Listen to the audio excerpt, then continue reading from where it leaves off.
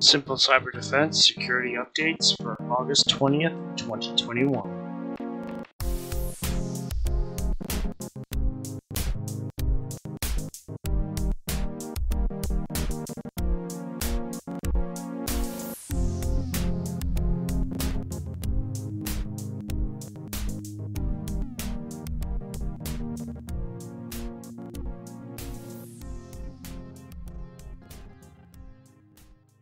Welcome back to Simple Cyber Defense. This week we have some interesting topics, one involving IoT devices and the new glowworm attacks for routers and record, recording devices, sorry.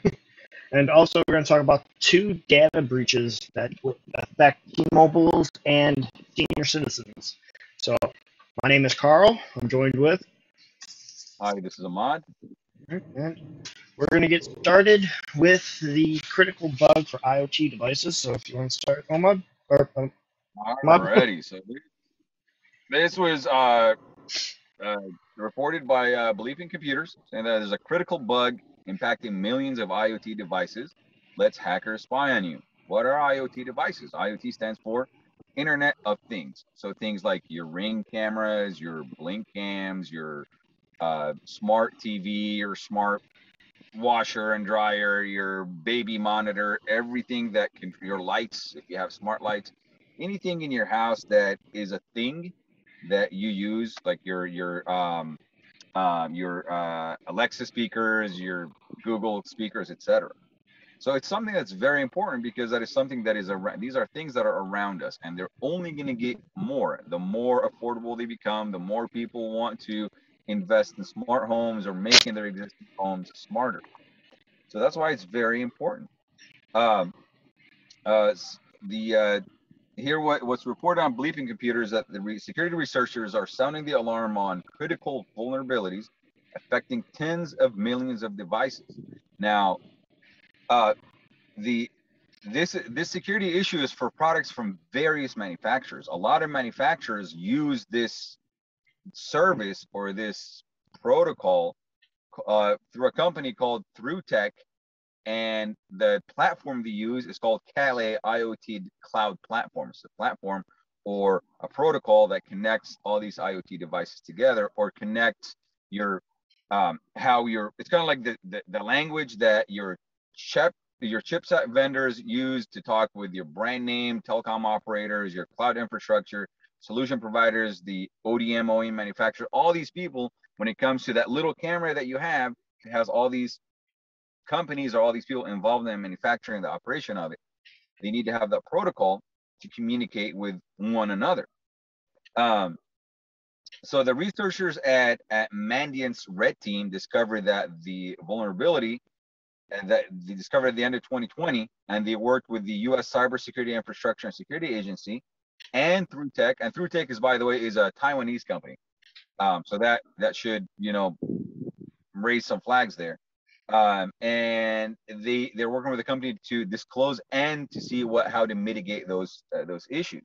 There's actually a CVE uh, that that is tracked, a CVE 2021 28372, um, that it's it's called the issue is called a device impersonation vulnerability and it has a high severity of 9.6 out of 10. That's how bad it is. And and why is that? Uh, what what the researchers researchers said is that for uh, a an IoT device using the uh, ThroughTek's Kalay's protocol, they found that you only need the unique device identifier UID to register that device with uh, Kalay's cloud service. So now we see that cloud service comes into uh, or into uh, uh, yeah into uh, the Kalay cloud service. Now, and that's all it needs. That's all you need is a device identifier. So somebody can spoof that and and claim to be that device. All you need to have is the device ID. It's kind of like you calling your bank and saying, "Hey, I'm such and such," and your neighbor can call and say, "Hey, I'm such and such. Give me that money." And they just give him that. That's all they need is the name, the unique identifier. Now that unique identifier can be gained through very easily through like social social engineering or the like. Um, the way it works is that the IoT device will reach out to the Kalay network. So you have your smart camera, for example, at home. They'll reach out to the Kalay network using that UID, and then register with the server. Once it registers with the server, then the communication between the smart device and the and and the and the server is established. Uh, an attacker could register on that network and control the device. And by controlling the device, they can hear everything, see everything. They can also get authentication information from that device. So now they have the username and password. Um, so it's not just it's not just remote access. It's not just credential harvesting. They also have audio and video. They can harvest audio and video data from the device. How do they do that? So they get, let's say, okay, I have ID number one, two, three, four. So, okay, we have this ID number. I'm an attacker. I'm going to spoof any request to the server, to the Kalay network. And we tell them, hey, I'm one, two, three, four. Send me this information. And what they do is send me that information. Okay. Um, now, the the problem is there are so many manufacturers that are using this technology. So we can't say, okay, if you have this device, do this, or you have device, this, do that. They have released a um, a patch for it um, after they have seen a, a proof of concept uh, through the throughout the research. And there's actually a video on YouTube that we will put the link to that shows you how this works. Um, so just look in the description. Uh, now the mitigation options for this is is a little bit uh, more technically advanced than what than what we're aiming to do on this podcast. It's more on the developer side and the owner of the IoT device side. But as long as we are aware, we, we're bringing this up because IoT devices are not going anywhere and it's going to get more and more. So back to that culture and that sense of security that we always have to have, you know, patch management. Anything, anytime I have, if I decide to use IoT, if I decide to, decide to use a phone, decide to use any electronics, I need to make sure that it's always updated. That would that would be your your your your uh, the biggest uh, the biggest thing. Now the, the the second thing is maybe a little bit different is um, don't use don't connect your your IoT devices to to public Wi-Fi networks.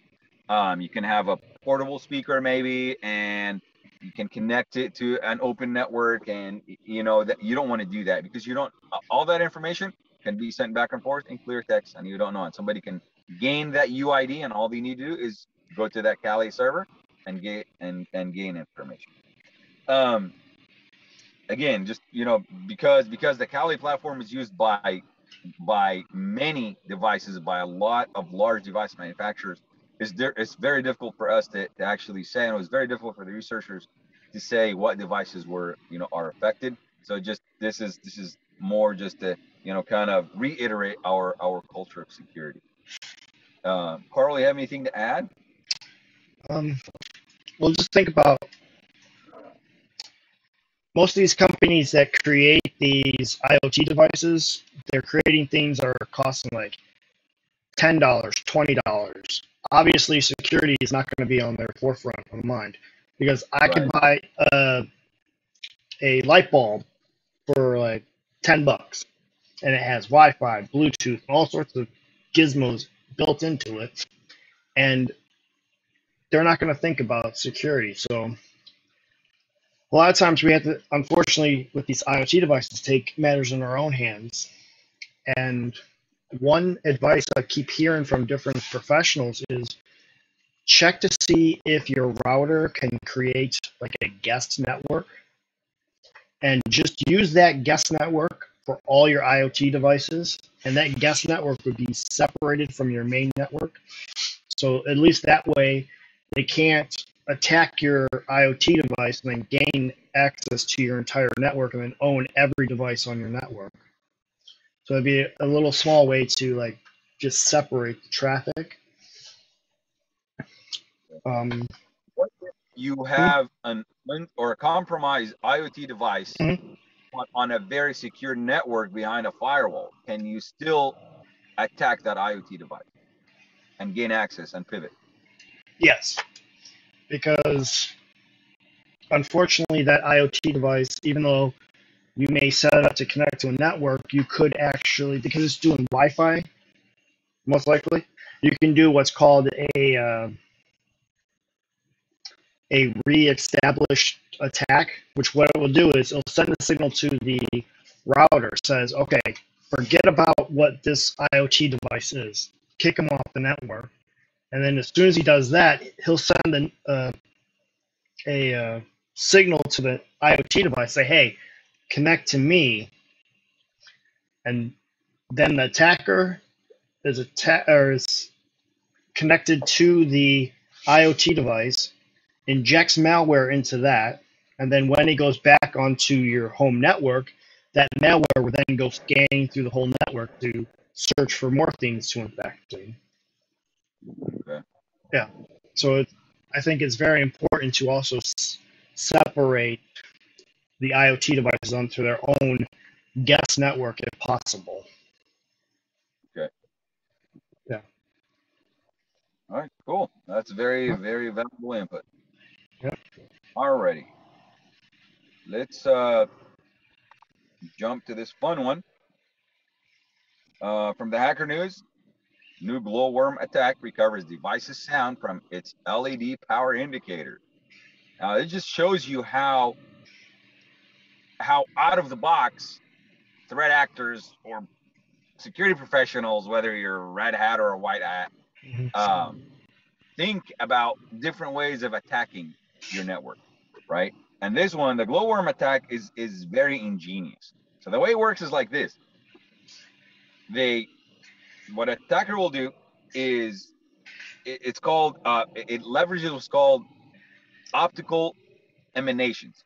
So what what they'll do is, so imagine this: listen to music and turn the the volume up very high every time you see it beating, you'll see that LED light on that speaker change the mm-hmm. the intensity and the brightness of it. That's not because it's reacting to the sound of your speaker. It's because the voltage is being drawn to the speaker and is and it's showing on the LED on the LED light bulb. So what happens is is an eavesdropper will be watching from a distance that light how how it changes how it changes how it fluctuates and then there'll be an algorithm that will capture all this data that's coming from that minor LED light and translate it into the audio that is being uh, sent through the speaker, which is which is very ingenious if you think about it. Um, the second thing is, oh well, my speaker doesn't have an LED. Well, your computer itself, if you have a connected computer or a laptop, it may have an LED. So the device that the speakers are connected to will also have fluctuation in power and they'll be able to catch that fluctuation as well. Um, this type of of, of uh, intelligence gathering is called. There's actually a, a term for it. It's called uh, Tempest. It's a code name. It's a it's a and if this is from Wikipedia, saying Tempest is a U.S. National Security Agency specification and NATO certification, uh, referring to spying on information systems through leaking emanations, including unintentional radio or, or electrical signals, sounds, and vibration. So there's another one that I that I read. It said um, on your on your on your phone on your handheld device, when you tap on your keyboard, that soft keyboard you have on the screen, when you tap on it, Small emulation.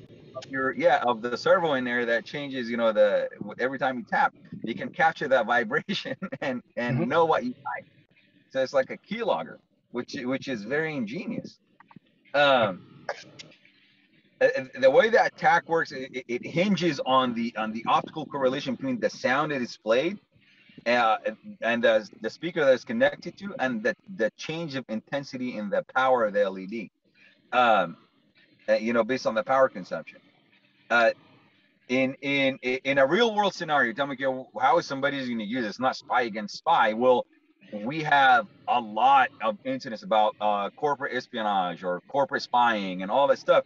And somebody, you know, how many conference rooms are rented at hotels and and, and Mhm. you know and, and speeches are given. Well, an attacker can be in the next in the next room or can be sitting in the same, you know, And, you know, the same area in the same general area and they can where they can see the led light and how it works and you know the, Mhm. or You don't even have to be somewhere. You can be on a Zoom meeting, or you can be on a Google Yeah. meeting, or a Google Meet, or Microsoft Teams, or whatever.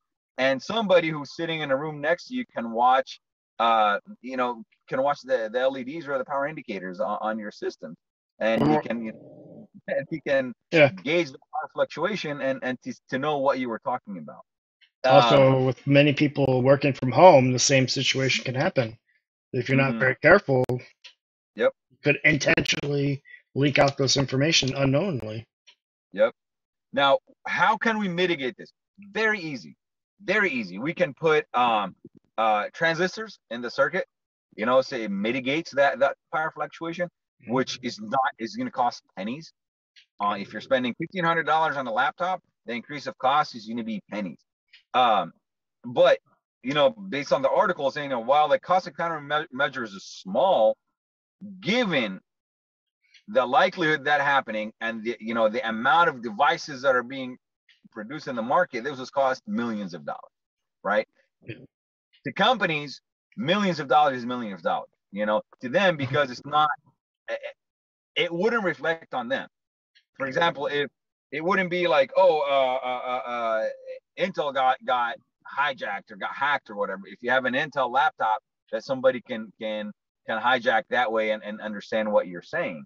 Um and you know it's it, it, it's just like you know given that and having this information threat actors and re- security researchers know that as well. And knowing that the manufacturers the, the computer manufacturers device manufacturers are not going to handle this um it's going you know glowworm is going to is going to be exploited for years to come. One of the things that i like to do for example but you know this this can change is i like to put uh, uh, black tape on my LED lights Mhm. and on my camera. But the thing is, also they also discovered if you have a light bulb hanging in your ceiling and there's a speaker that's loud enough, there's actually going to be from the vibration of the sound of the speaker, it'll change the yeah the vibration the the sign the the way of the light up in your in your light bulb, and they can capture that as well. But because of the cost of the equipment to do that, it's not you know it's not a pressing issue right now. Um, that's it for this. You, you have anything to add? Well, this glowworm thing actually isn't anything new. Like back in the computer days where you had CRT monitors, the same kind of attack would happen where CRT monitors would vibrate like very ultraviolet or ultra outside the human eye range, but if you have the right telescope or something to capture those vibrations, and you can actually recreate what's on the screen based upon what's being vibrated out. And Wow. that's pretty scary. Yeah. So that's why a lot of a lot of the time, uh, the older days, that's where the uh, privacy screens started coming into play, where they would I put see. that above that because that would mitigate the reflections of the monitors. So that that could be one way to mitigate this on your cell phone because the privacy screen will also alter the way the light is uh, the light from the phone is being reflected out. It'll distort it enough to where you can't really get a good gauge of what's being on the screen. So that's Wow. that's my two cents on that. Nice. Yeah. All right, All so right. guess we'll go on to the two major data breaches that happened. So, the first one is involving uh, T-Mobile customers. A hacker is claiming to have stolen data from more than 100 million T-Mobile users in the, the U.S., and the information is on sale for roughly $277,000. Um, What's kind of scary is the stolen data may include phone numbers, social security numbers, unique IMEI numbers, which are basically numbers that identify one phone from another phone, uh, physical addresses, and even driver's license information. So, Wow. yeah. And with this huge amount of data being stolen, so the question is, well, what could happen with it? Well, many things can happen. One thing could be spear phishing attacks, where each customer will get uh, emails from T-Mobile that may seem really legit because they have your information from this data breach and say, hey, your account been compromised. Click this button here to change your password or something. And then you click on the link and it goes to a malicious site. Another thing that they could use this information is uh, the swims the SIM swap attacks, where they will actually call up T-Mobile and have all of your information and say, "Hey, I need to get a new SIM for my car or for my phone because it got stolen." And because they have all your data already, they can just say, "Hey, T-Mobile asks, what's your PIN? PIN is one two three four, whatever it may be," and it'll be easy for them to take it.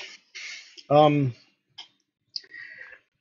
so the things that you should do right away is definitely change your password and your security pins right away. This is very important because because now the, the hacker has that information from this data breach. And it's even if you're not directly a T-Mobile customer, like say you are a Metro PCS customer or a Mint or a Ting, I would still do the same thing because those are owned by T-Mobile. And also, if you are on a carrier that uses the T-Mobile network, I would also change your passwords and pins just because you don't really know how much information that carrier is sharing with T-Mobile because they may have a database on those customers because that carrier is using their network. They may say, hey, in order to use our network, you have to give us your customer data. So just to be 100% safe, if you are on T-Mobile or your carrier uses the T-Mobile network, definitely change your password and pins for your for everything there. And another thing is use an app-based authenticator app for two-factor instead of the text messages because now they can do this SIM swap attack text messages for your two factor are no longer secure because they can just take over your cell phone number and say you request a uh, two factor and it'll get texted to the attacker instead of you. And here's the scariest part here. T-Mobile has experienced as many as six separate data breaches in the past four years. Wow. That's almost two every year. If Two and a that, half. yeah, two and a, like two and a half every year. That is kind of scary. This shows that many companies do not take security as seriously as they should, just because security is more of a cost than a benefit. It benefits the customer, but it does not always benefit the business. So that's why it's very important to keep on top of your data and keep on top of all of these issues because a lot of the times the companies are not going to have your back. And if you are a T-Mobile uh, customer and this fact that six data breaches within the four years scares you, get out of T-Mobile and use something else. Because- leave, yeah, obviously they do not care about protecting your data. And as scary as that is, data breaches are happening more and more often. And this next uh, topic is a data breach that happened for uh, targeting mostly senior citizens. So, a cybersecurity research has found a misconfigured Amazon S3 bucket. Now, what an S3 bucket is is Amazon will have has multiple multiple different servers, and they rent out different servers to different businesses, and that portion that they rent out to a company is what they'll call a bucket. So the server, aka bucket, will be leased out to a company, and the company puts in their data and use it for whatever reason, uh, either computing reasons or just storing data to be later retrieved. And this bucket was misconfigured in a way that anyone could actually just walk right into it without any authentication at all.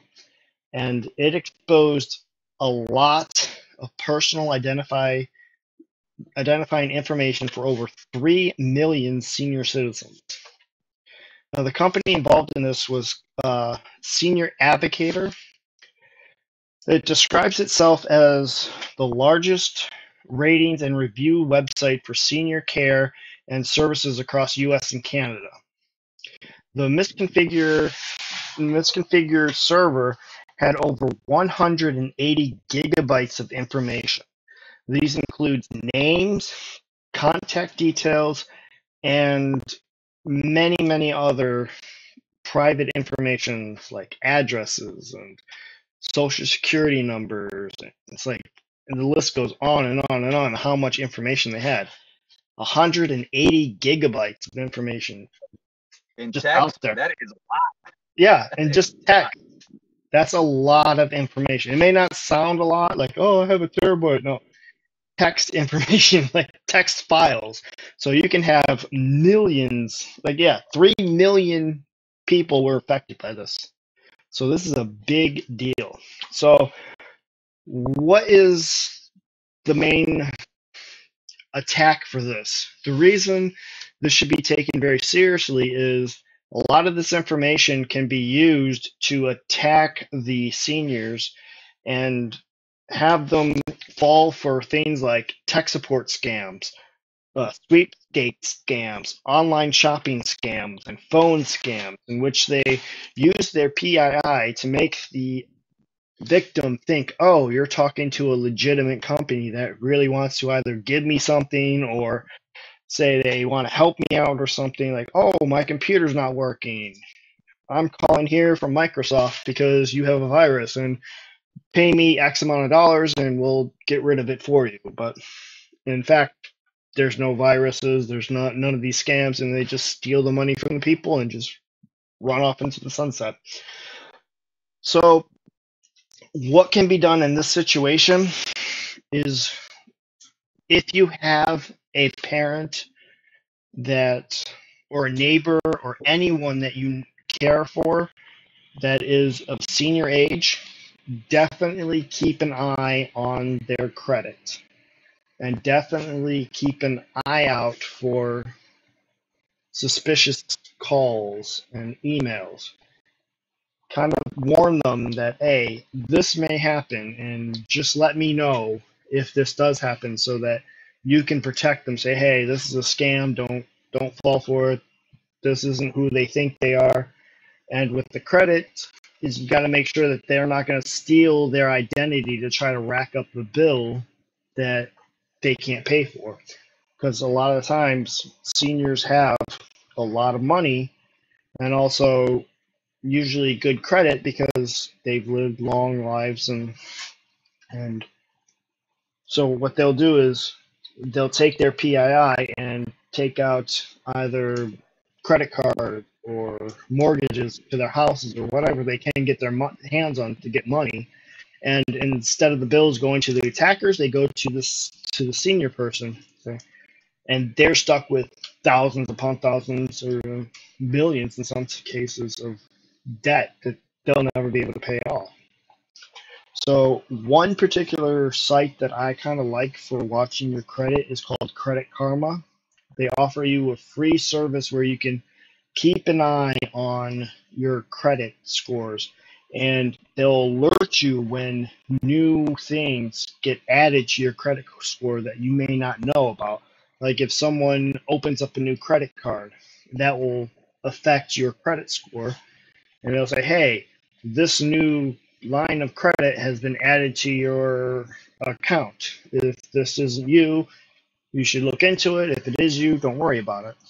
So that's another thing that you could use to protect yourself because the attackers have your information and they're not afraid to use it.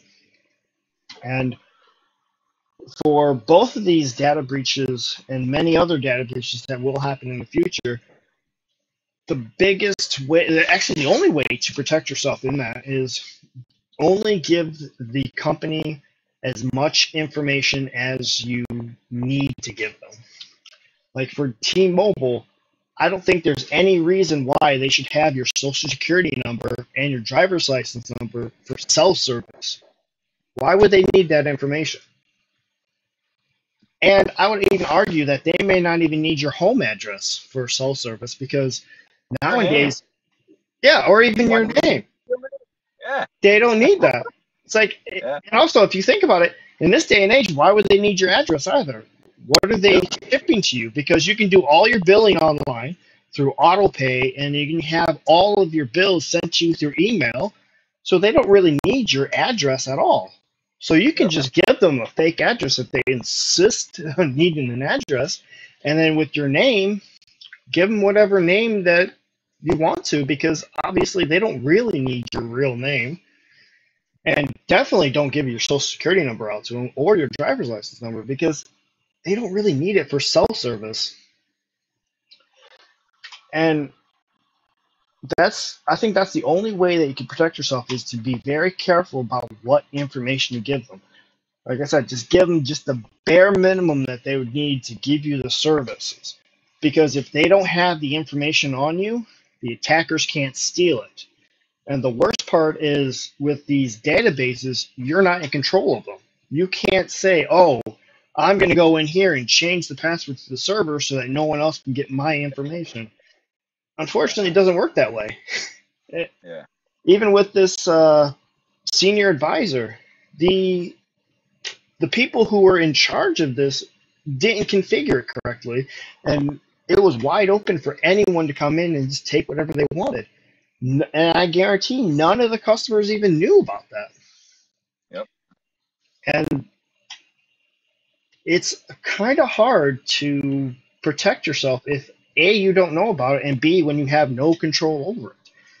So, yeah, just be very careful about what information you give out to them. I know we live in a day and age where we like to give out information for services or whatever, but eventually that stockpile information can be used against you.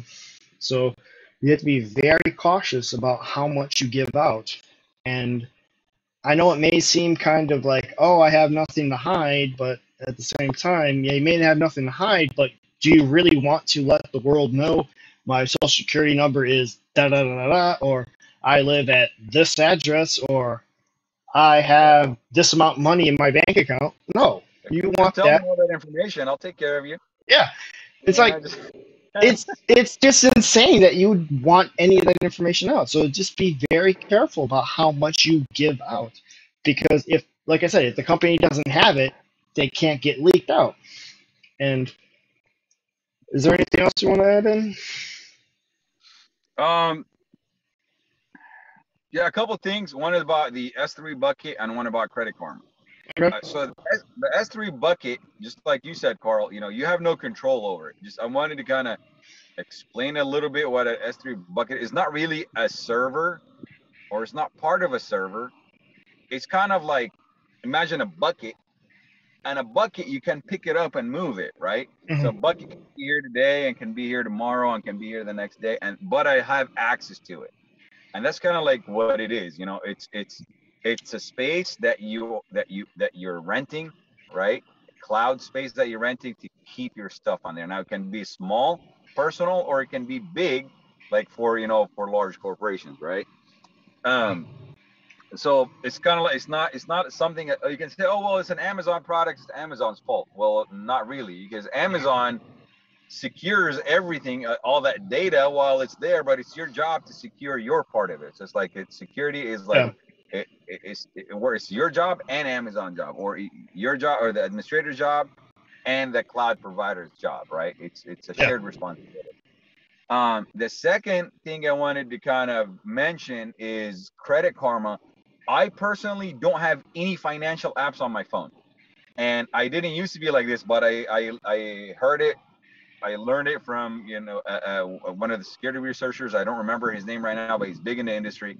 And since I heard it, it actually makes sense. I don't need to have my bank information on my phone. Um, I don't need to have my credit information on my phone. I didn't have my credit card on my phone.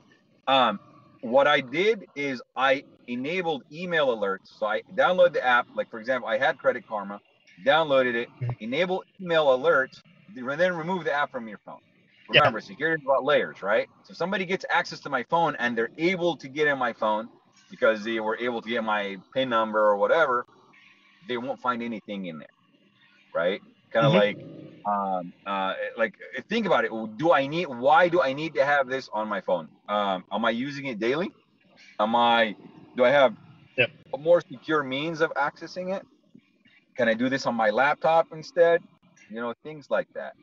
Uh, so that's that. That'll be one thing I would recommend as well. Is is is set up email alerts, then remove the app from your. Or even don't even use the app at all because you don't have to use the app. You can just go to the website and use it on Yep. your laptop. So, But there are some apps where you can't. You say, oh, you have to download the app. well, that's why.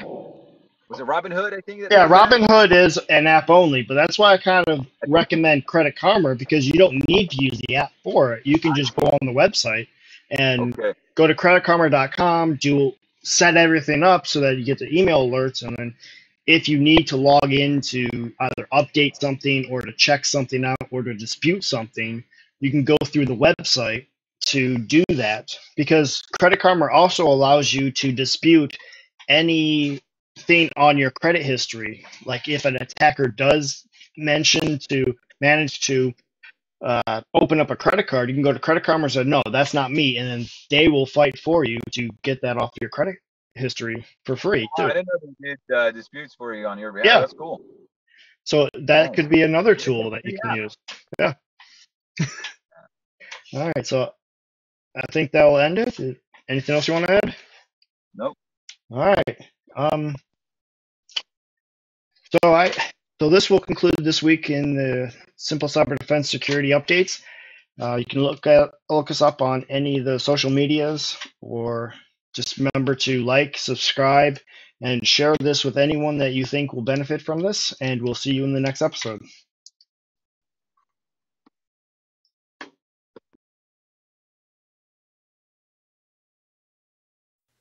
If you like what was in this episode, please consider liking, subscribing, and sharing with others.